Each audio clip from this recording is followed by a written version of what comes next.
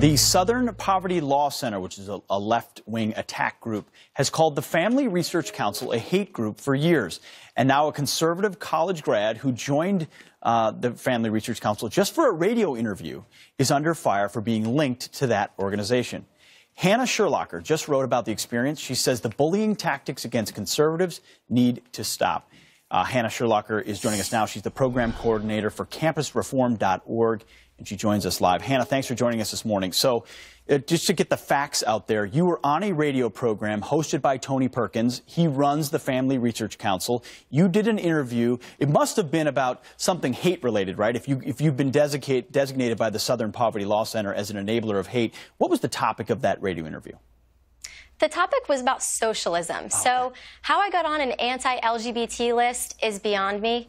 Um, you know, Southern Poverty Law Center responded to the article I wrote by debating the semantics of which list I was on. But, you know, bottom line, when anyone is placed on any of Southern Poverty Law Center's list, the message is clear.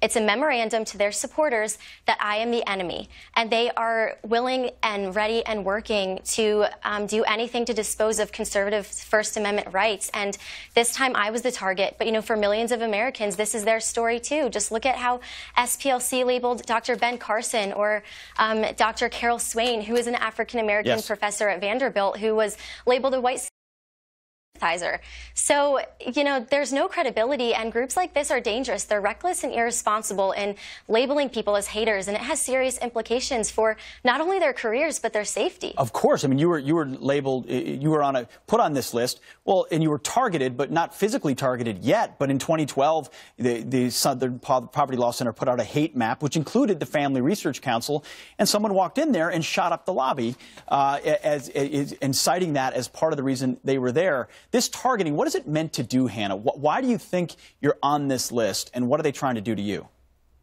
They're trying to silence me, as for years they've been trying to silence conservatives. It's a bully tactic. And what I find ironic about this is of the 917 groups they deem hateful, there's not a single message of Antifa, resist, by any means necessary, which are all domestic terrorist organizations that operate and incite violence on our college campuses. I work with college students across the nation at Leadership Institute's Campus Reform, and they are constantly bullied, attacked, and ostracized by groups like these.